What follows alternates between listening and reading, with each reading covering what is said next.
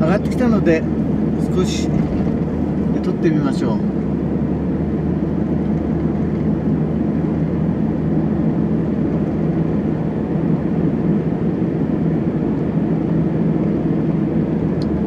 やっと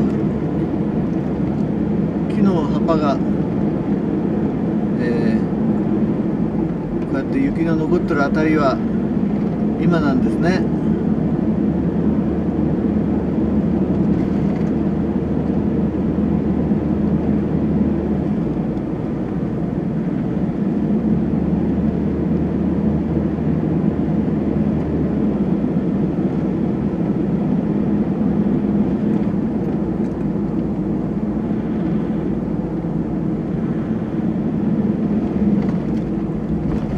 えー、左左遠くに、えー、朝日岳、まあ、大雪山ですね。